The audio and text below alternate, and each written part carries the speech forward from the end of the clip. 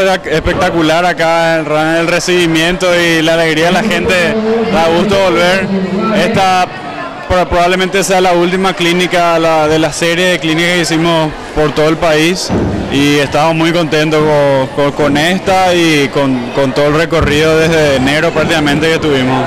Es que se coma bien, o sea, siempre una dieta balanceada de proteínas, que son carnes, carbohidratos como arroz, papa, eh, siempre las verduras y realmente comer todo eso y después poder comer lo que quiera. No, el nadador no se, no, no, se priva de, mucho, simplemente comer de buena calidad comer eso primero y después sí lo que quiera.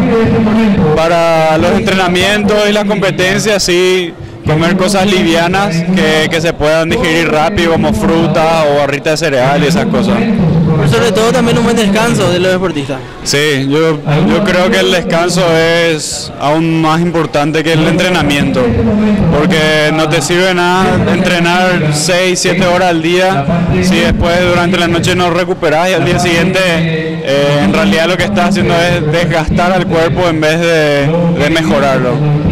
Gracias Genaro y éxito para todo el año que se viene. Muchísimas gracias a ustedes, un saludo a todo Alto Paraná.